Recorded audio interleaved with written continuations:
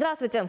В эфире программа «Аптата НСМ». С вами Зарина Удба, сурдоперевод Нургуль Санабайказы. И в ближайшее время расскажем вам о событиях уходящей недели. Понедельник глава государства Касым Жумарт Токаев выступил с посланием народу «Справедливый Казахстан», «Закон и порядок», «Экономический рост», «Общественный оптимизм». В нем президент обозначил конкретные направления развития страны. В частности, перед правительством поставлена задача увеличить к 2029 году долю среднего бизнеса в экономике до 15%. Требуется обеспечить постепенный переход от прямого субсидирования аграрного сектора к обеспечению доступного кредитования. До конца года следует следует утвердить национальный проект по модернизации энергетического и коммунального секторов. А 6 октября пройдет общенациональный референдум по вопросу строительства АЭС. Также глава государства объявил 2025 год годом рабочих профессий. За это время предстоит осуществить реформу системы технического и профессионального образования. Кроме того, президент поручил сформировать единый пакет базовой государственной медицинской помощи. Все, что сверх него, должно оплачиваться через систему страхования. А со следующего года в стране окончательно внедрят систему выборов хакимов района районов и городов областного значения. Самой насущной задачей является и обеспечение экономики квалифицированными кадрами. Прежде всего, необходимо преодолеть острую нехватку отраслевых специалистов, а именно строителей, энергетиков, работников в сфере водных ресурсов и многих других. Речь также идет о подготовке специалистов по профессиям будущего. работа в данном направлении уже начата. Представители актюбинской общественности поделились своим мнением о инициативах президента. Размер местных выделяемых грантов должен позволять организовать качественный образовательный процесс. Президент подчеркнул, что нельзя распылять государственные средства по всем вузам. В Актюбинском региональном университете имени Кудайбергена Жубанова идет конкретная работа по развитию региональной науки. Не только фундаментальной, но и прикладной. Недавно вуз выиграл грант Центра академического превосходства на 3 миллиарда тенге для закупа лабораторного оборудования. Мы получили э, ответ на проведение референдума по строительству атомной станции. Определена дата 6 октября, и, надеюсь, э, население Казахстана, общественность э, поддержит э, решение, положительную сторону на строительство атомной станции. Безусловно, эта потребность энергетики в Казахстане ощущается, и, думаю, строительство таких объектов компенсирует именно эту потребность. Безусловно, одно из красных линий проходящей посланий – это подготовка квалифицированных кадров. То, что 2025 год объявлен годом а, рабочих специальностей, это является таким а, примером а, подготовки именно квалифицированных рабочих кадров. К этому, я думаю, должны подключаться именно среднее звено образования, это колледжи и, безусловно, высшие учебные заведения. Правительством осуществляется интернационализация высшего образования. Для этого в страну привлечены 23 известных зарубежных вуза. К слову, в Актубе в прошлом году открылся филиал британского вуза Хериот Уотт. В этом году мы уже набрали второй поток студентов. И именно подготовка этих кадров, в связи что это технические кадры необходимы для региона и страны в целом, так как это и нефтяная инженерия, и электроэнергетика, и IT специальности. Также в послании была отмечена важность именно искусственного интеллекта во внедрении в учебный процесс, а, э, что в этом, в свою очередь, уже университет работает в этом направлении.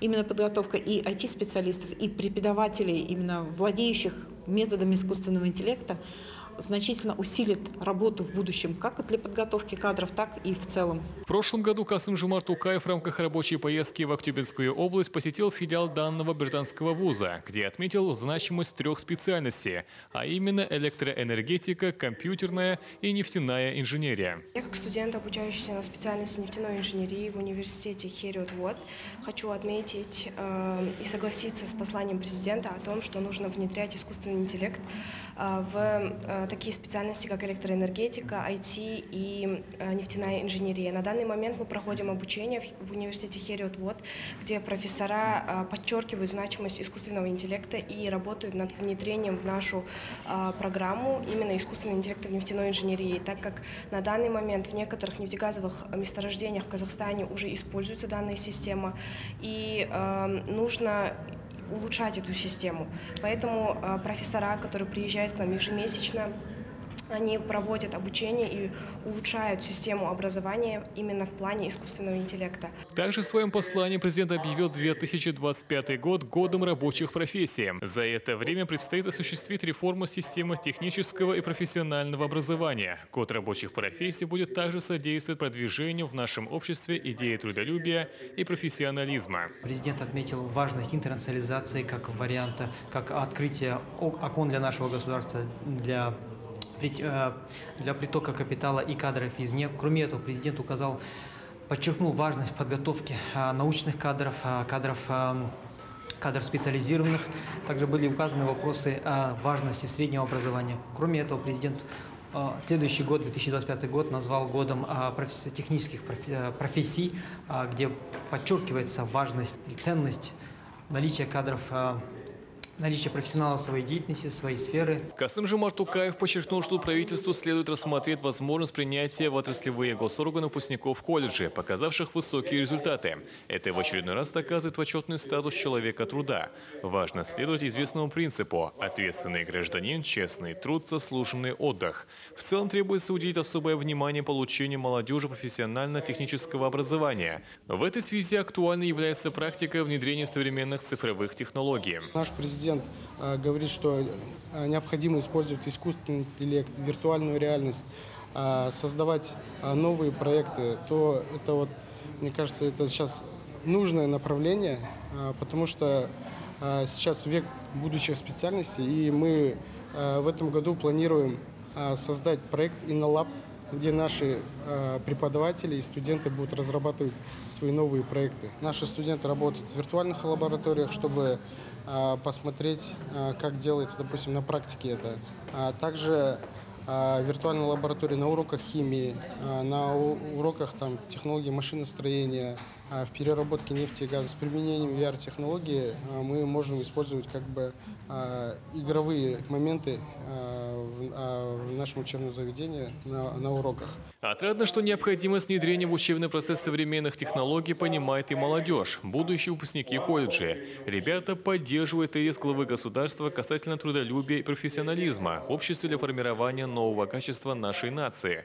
Важно подчеркнуть, что всего в колледже обучается свыше 2300 человек по 12 преимущественно техническим специальностям. Мы с другими студентами и преподавателями э, смотрели и слушали обращение президента Республики Казахстан, в котором он говорил о важных вещах и целях на этот год, о том, как нужно Э, улучшить состояние жизни, э, говорила о важных вещах, как улучшение качества образования, открытие новых э, учебных заведений, высших, так и средних, о внедрении новых технологий, таких как искусственный интеллект. Активно внедряется цифровая технология в сфере образования, такие как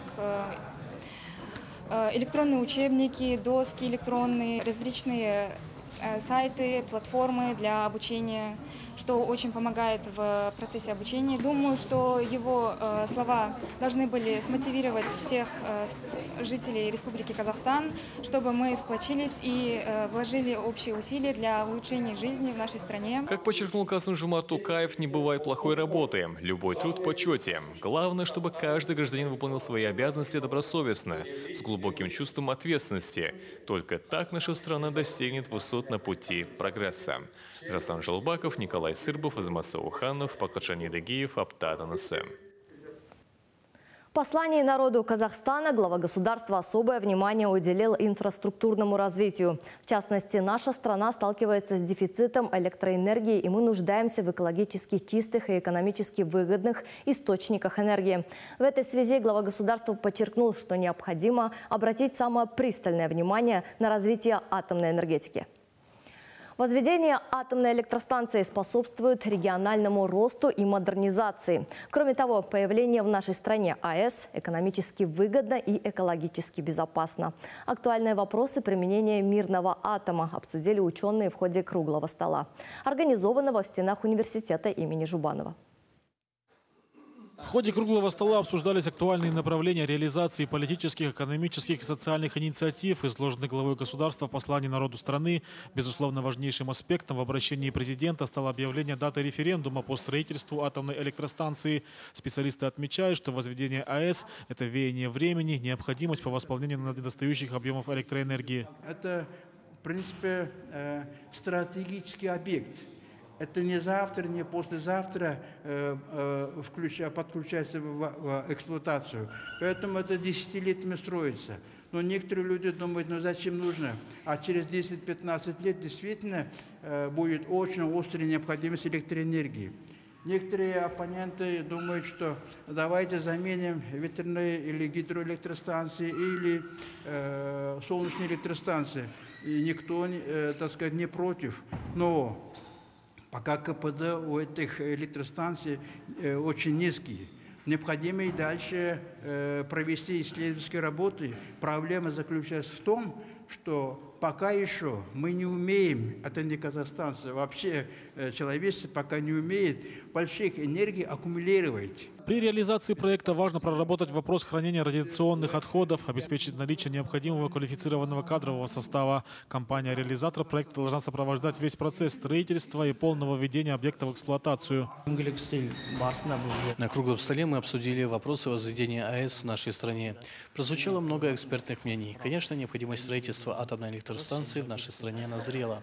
Но важно разъяснить населению пользу от использования мирного атома, подготовить квалифицированные кадры, которые будут там работать, отправлять специалистов на стажировки обмен опытом в страны, где подобные технологии широко используются. В работе круглого стола приняли участие физики, биологи и экологи. Специалисты поднимали вопросы состояния энергетического комплекса в Казахстане, использования атомной энергетики. Ученые провели углубленное обсуждение необходимости возведения АЭС для экономического развития и улучшения качества жизни населения. К слову, для повышения качества жизни жителей большая роль отводится расширению собственного производства, что позволит сделать атомная энергетика. Я хочу провести параллель между продовольственной безопасностью. Когда мы говорим о продовольственной безопасности, мы понимаем необходимость внутреннего производства, обеспечения товарного рынка собственной продукции. Тогда мы не будем зависеть от импортеров, от э, других стран.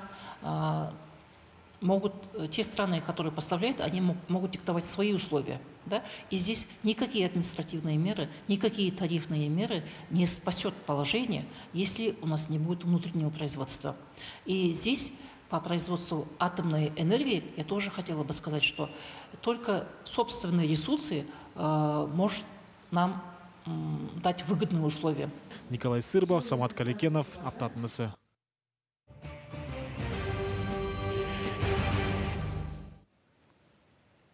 Казахстане 7393 семьи, пострадавших от весеннего наводнения, получили новое жилье.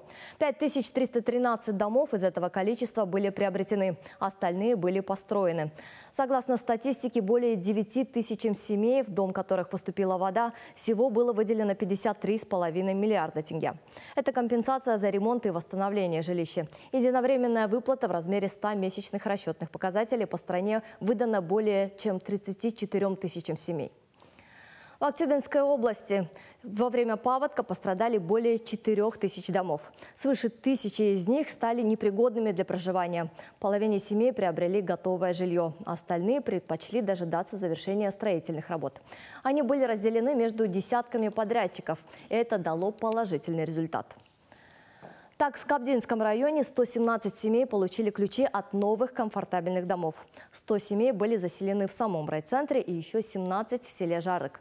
Стоит отметить, что все дома возведены при поддержке фонда Булата Утимуратова. Тему продолжит наш корреспондент.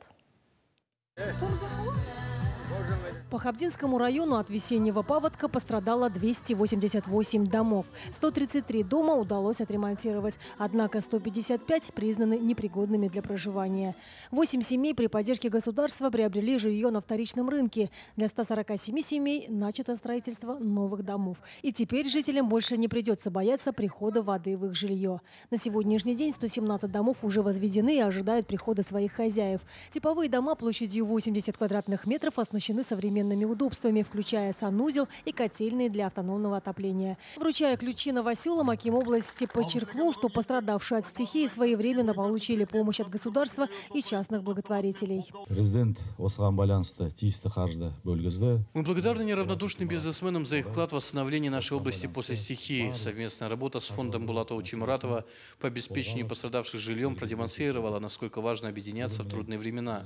Радость возвращающихся к нормальной жизни новоселов вдохновляет нас продолжать сотрудничество на благо региона. Одна из обладательниц ключей Фатима Сукулова. Дом 65-летней Хабдинки был из Самана. И, конечно, такого напора воды он не выдержал. Семья как могла боролась с водой. Однако на четвертый день стены все же рухнули. Я еліме рахмет осы суға кеткеннен бері Это были страшные дни, но хочу сказать спасибо всем людям, которые помогали в такие минуты. Нам привозили еду и все необходимое. Нас не оставили наедине с бедой. Вся помощь, в которой мы нуждались, была оказана. А когда сказали, что построят новый дом, счастью не было предела. Казалось, что день, когда построят, еще далеко. Но вот сегодня мы можем зайти в свой собственный новый дом. Практически смыло дом у пенсионера Оскара Нуржанова. По словам 73-летнего жителя, ранее в районе подобного паводка не было. Жаңадан салынған ет салынғанына кіргеніне бір үш жыл ма төрт жыл ма болған Дом я построил три года назад. Мы практически не успели там пожить. Пытались как могли остановить воду. Мешками обкладывали, но вода все равно найдет, где пройти. Вода стояла долго, дом дал осадку, много раз приезжала комиссия. И все же его признали непригодным. За новый дом выражаю благодарность Акимам села и области, нашему президенту за то, что поручил в кратчайшие сроки решить проблемы пострадавших. Ключи от домов получили и жители села Жарых. Одна из 17 пострадавших – Сагира Кунур. В семье 59-летней многодетной матери 9 человек. После того, как дом затопило, им несколько месяцев приходилось жить на съемной квартире. Айттық біздер мынандай жерден мынандай жерден алайық а, нетеміз деп Для строительства выбрали хорошее место. Мы очень рады. Дома светлые, со всеми удобствами. Для села очень комфортные дома. Все одинаковые, выглядят очень красиво. Спасибо большое. Подарки дарят. Очень боялась, что до зимы придется скитаться по квартирам. Быстро все построили. В общей сложности группа компании Булата Тимуратова выделила порядка 12,5 миллиардов тенге на помощь пострадавшим от паводка в Казахстане. Директор фонда Марат Айтмагамбетов подчеркнул важность поддержки пострадавших семей. Вот начиная с апреля месяца наша команда работала здесь, в городе, в районе. Да. В городе мы приобрели порядка 100 квартир. В новых комплексах жилых сделали ремонт, передали тоже бесплатно жителям города, да, те, кто пострадал. Здесь в районе было принято решение построить новые дома. Это вот 100, 180-100 квадратов, значит, ну, вот здесь вот вы видите их. Здесь в районном центре Хобда было построено 130 домов. В соседнем ауле э, Жаркан, а, Жарах значит, было построено 17 домов. Значит, в общей сложности по области больше 400 семей, вот именно те, кто пострадал от этих паводков, они получили от нас поддержку и помощь. В ближайшие дни фонд вручит ключи еще от 30 домов, что позволит полностью завершить масштабный проект по обеспечению жильем более 400 семей в Актюбинской области. Динара Абдуалиева, Нурбол Жаумбаев, Душан Жасулан, Аптатанаса.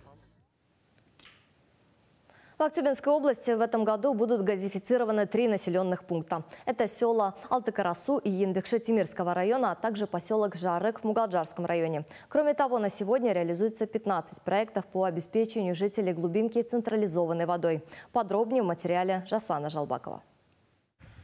В этом году начата реализация 27 проектов по обеспечению головым топливом более 5000 жителей. Эти проекты являются переходящими на 2025 год. На сегодняшний день э, у нас имеется 320 сельских населенных пунктов, из них а, 168 э, или это в процентном соотношении 52,5% э, 52,5% обеспечено газоснабжением, э, в которых проживают 80, э, 886,5 э, тысяч населения. Это в процентном соотношении, если по населению считать, 95,5%.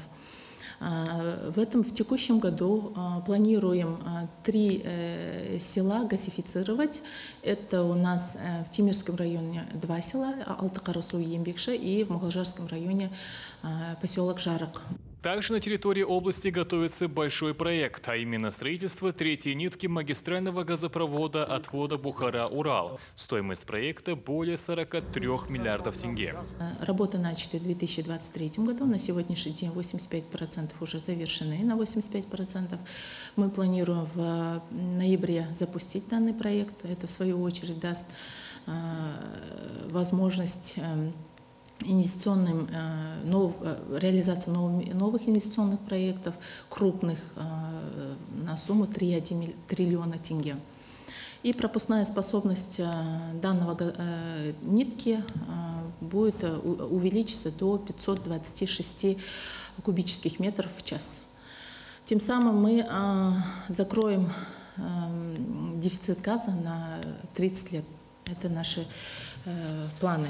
На сегодня Актюбинская область по республике занимает седьмое место по обеспечению питьевой водой. Специалисты отметили, что по поручению президента до конца 2025 года все населенные пункты будут обеспечены водоснабжением. На сегодняшний день реализуется 15 проектов по обеспечению централизованной э, водой. И а, в двух селах устанавливаются комплексно-блочные модули. А в остальных вот 20 селах из 30-20 а, используются скважины. То есть по санитарным нормам они отказались, то есть они отказались от установки комплексно-блочных модулей, модулей, и они все соответствуют по санитарным, санитарным нормам. Получается, пить воду из нее можно. По области пострадало более 4000 семей от паводков. Свыше тысячи домов были признаны аварийными. Для более 500 семей строятся новые дома. От остальных поступили заявки на покупку готового жилья на первичном и вторичном рынках. Всем известно, что э, весной текущего года э, в ряде э, районов области были объявлены чрезвычайная ситуация в связи с этим были у нас тоже э, повреждены инфраструктурные объекты. Это в Тимирском районе, а, в селе Алтыкарасу проект воды сейчас реализуется. И в Уилском районе, в селе Каратал, проект по восстановлению сетей газоснабжения тоже на 95 миллионов тенге. Из областного резерва выделены средства, и на сегодняшний день а, подрядчиками уже восстанов... А, ведутся работы по восстановлению. Кроме того, по словам специалистов, степень готовности к новому отопительному сезону составляет 97%. Основные работы сделаны. Остаются лишь пусконаладочные работы и опрессовка сетей. Шасан Жалбаков, Межана Манжолов, Аптатансе. Такими событиями запомнилась уходящая неделя. На этом у нас все. Следующий выпуск программы «Аптат НСС» смотрите в следующее воскресенье.